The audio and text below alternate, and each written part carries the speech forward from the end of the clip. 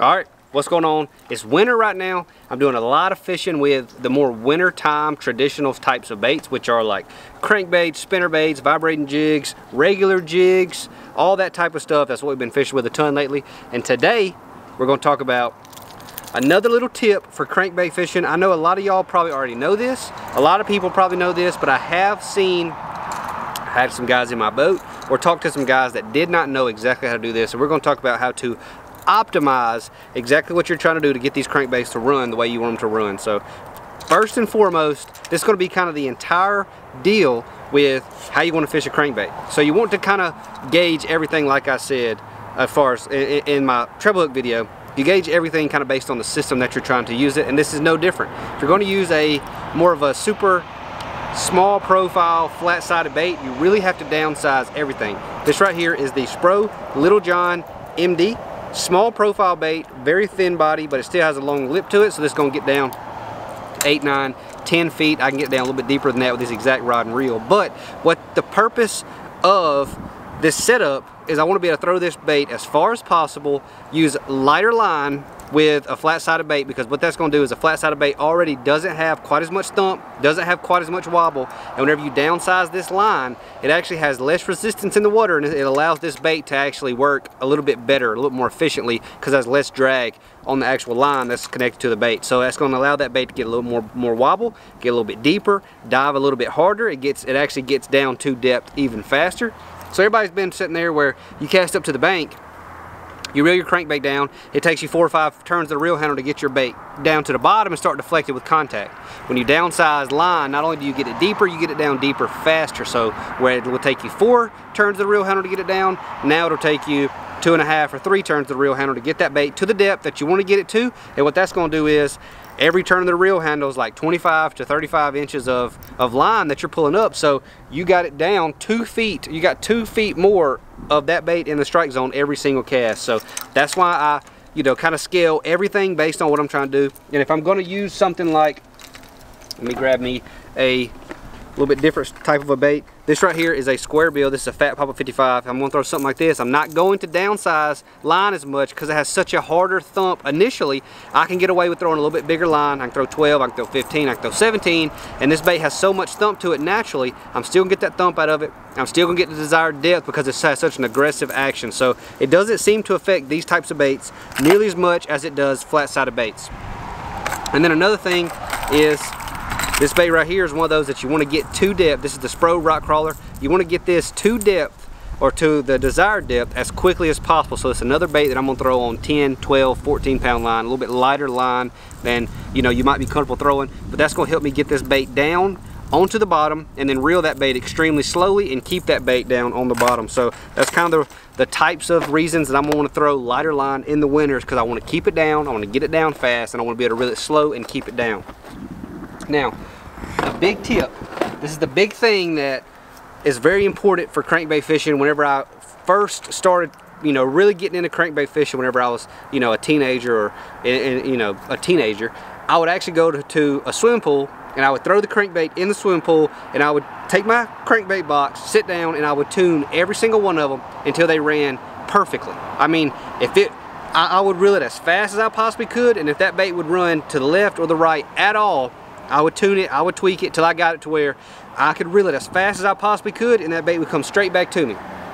And the reason you want to tune your bait at extremely high speed is because you're not going to be, be reeling that fast on the water. And the slower you reel it, the better it stays in tune. Or the better it keeps its, its direct line and it stays on track a little bit better. So I want to keep this bait I want to make sure I tune it where I reel it extremely fast so that when I'm on the water and I reel it slower it's, it's going to be even more exact and even more perfect and it's not going to blow out or get sideways at all. So I'm going to take y'all through the adjustments you have to make and I tune baits a little bit differently based on if they're a flat-sided bait like this one, a deeper diving bait like this one, or if they're a square bill like that one that I showed y'all right there. So first things first, I'm gonna show y'all what a crooked one runs like, and this one actually runs good out of the package.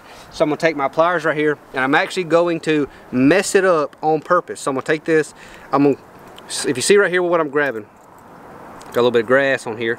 I was just uh, throwing this thing in a little grass bed right beside me. Gonna take these pliers, the actual, not the split ring, the actual line tie that's molded into the bill. I'm gonna grab that. And I'm gonna just bend it a little bit crooked. I'm gonna bend it just a little bit out of whack, just to, just for educational purposes. I'm gonna bend it just a little bit out of whack. So now we're going to turn around and I'm gonna show y'all how this bait looks in the water now that it does not run correctly. So we'll be right back.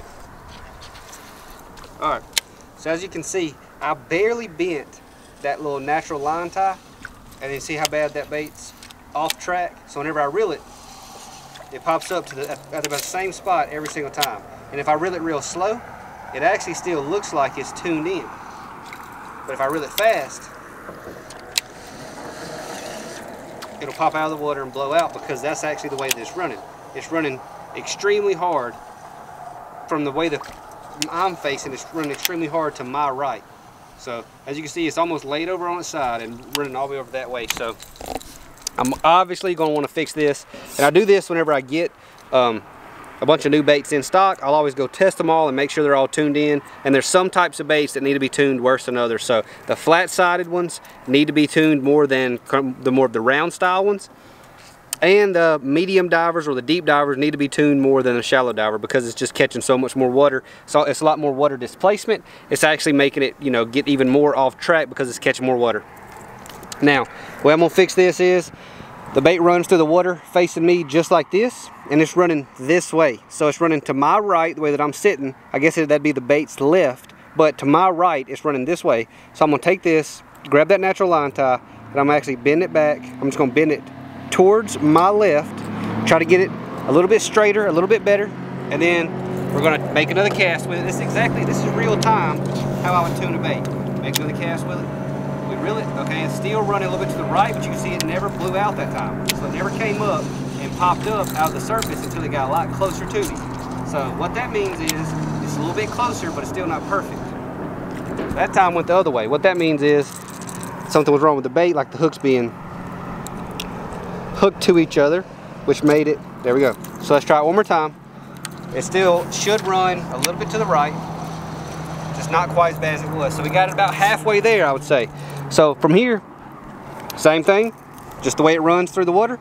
We're gonna grab that natural line tie, the one that's molded in, and we're gonna bend it a little bit further to the left. So now, I've done this a lot, so I'm pretty sure right here we bent it just a hair too far. So let's go back to the water. And now I'm pretty sure it's gonna run to my left. So, yep, now you see it ran to my left right there. And it's not running super bad, but it is running pretty bad to the left. So now we're actually going to have to bend it back the opposite way.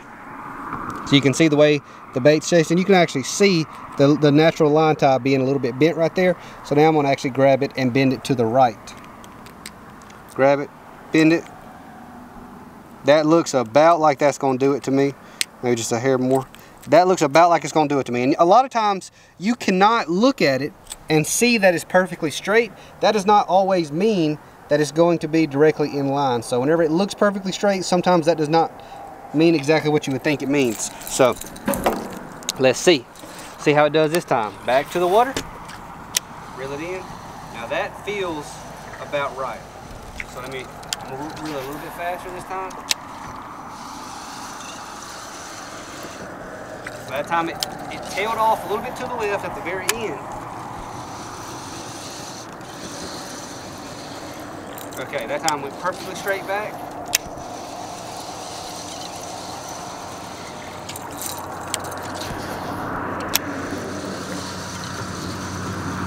It's still going just a hair to the left. I mean just a tiny amount to the left. So I'm gonna get it back. I'm gonna hit it one more time.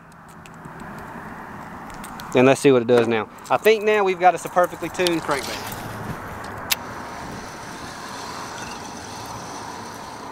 Back to the right. That's the thing about these super narrow baits. They're very difficult to tune. That's why it's so important to tune them. Because they get out of whack very, very easily. You can see I'm barely touching it and get it out of whack. So that's it right there. That time, that was it. Whenever you have it perfectly tuned, it actually hunts a little bit.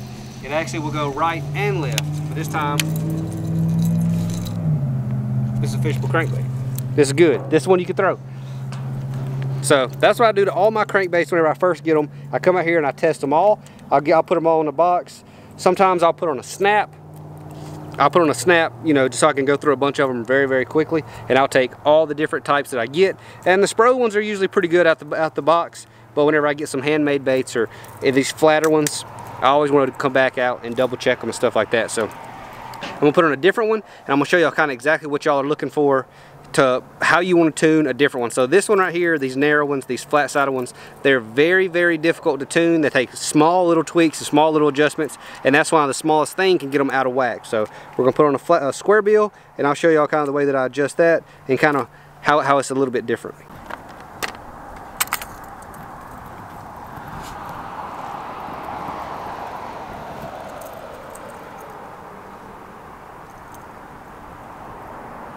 I get this question a ton.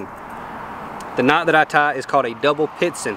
It's also called a double San Diego jam, but the double San Diego jam has a couple variations to it. And as far as I know, the double Pitzen only has one variation. And it's the one that I tie. So I, I think the official best name for it is the double Pitzen. That's why I tie. On all fluorocarbon applications, except for flipping. That's why I tie. So there's a couple properties in baits that make them where some need to be tweaked more than others. And I'll kind of walk y'all through exactly what makes a bait have to be tweaked and what makes it not need to be tweaked. And some need extremely small minor little bitty tiny adjustments like the one I just had the Spro Little John MD small tiny adjustments on that bait make a huge difference. On a round bodied square bill type of a bait let me grab this Little John. You can see the differences in the body size right here this Fat Papa 55 that I have tied on right now, this one right here, it's actually a whole lot fatter, wider, round body bait. And this Little John is a flat-sided bait. So what that means is this kind of a bait is going to be a lot more buoyant. This bait's going to be a lot more aggressive in action because it's got more buoyancy to it. So what you have is you have the bait being extremely buoyant and you have the bill pulling it down and rolling it. That's why the square bill has such a hard thump and a hard roll because of the buoyancy it has in the back. Now, that makes it where a super small tiny tweak doesn't make that bait get off track nearly as much as it does the other types of baits. Another thing, whenever that line tie or hook hanger, whatever you want to call it, is molded into the actual nose of the bait, like this one is, it's molded into the nose of the bait and still being nosed, instead of being molded into the actual bill. So let me grab one of these other ones. Like, here's a rock crawler right here. Spro rock crawler. This one is actually in the bill, as you can see right here. It seems like whenever they're molded into the bill, you have to tweak them a little bit more, and it takes a, you know smaller tweaks to actually adjust it. Whenever they're molded into the nose of the bait. They're very easy to keep them in tune. They come out of the box tuned a whole lot more often. And if you want to tune them, you have to make a lot bigger adjustments to the bait. So that's one of the things that you want to look for in a bait. Your baits that are, you know, further down the bill, and narrower bodies, they're going to need more tuning than others typically out of the box, and they're going to need slighter, smaller adjustments, whereas a square bill, it's going to take bigger adjustments, and it's not going to need it nearly as often. Another thing, this is something that I've done, I tried it, I didn't really like it, I didn't think it was very good, but I've heard of people doing good in tournaments doing this technique, and it's actually taking a square bill, and if you're going to be fishing like floating docks or something like that, you'll actually take your square bill and bend it, bend that thing to adjust it, out of, you know, like the way it naturally is on purpose. Like bend it to make it run one way or another on purpose. So if you're fishing docks, you can get that bait to go and deflect with the posts, or you can get it to actually run underneath the tips of floating docks. Now, I've heard of people doing that. I've seen people doing it in tournaments and stuff like that. Every time I've done it, I feel like I didn't get any bites because the bait didn't run straight enough, but that's another thing to think about and to remember if you ever need something to get underneath the dock or to, you know, like actually connect with the dock and get a little bit more deflection and stuff like that. That'd be something to remember so you can use that little tweak as well. So this uh, square bill, if I had to guess, I'd say this one's gonna run good straight out of the box because that's just how they do. I just want to take y'all through and walk y'all through what makes a crankbait need adjusting and you know kind of how to do it and all that type of stuff and sometimes you'll be catching fish and you'll catch one fish and you'll catch a big one he might get you hung up around a dock post or something and you really pull on him harder than normal and you'll bend that crankbait out you know like you'll bend it out of kind of the natural flow. I don't even know what to say, but you'll bend it kind of out of shape by kind of over fighting a fish. And whenever that happens, you have to tweak it and stuff like that. So it's not always just out of the box, or you can throw it and you can hit a dock with it, you can hit a rock with it, get it hung up, be snatched on it, whatever it takes. You can get the crankbait bent to where you have to actually tune it and adjust it and get it back. So just want to bring that up. Had a guy in my boat not too long ago,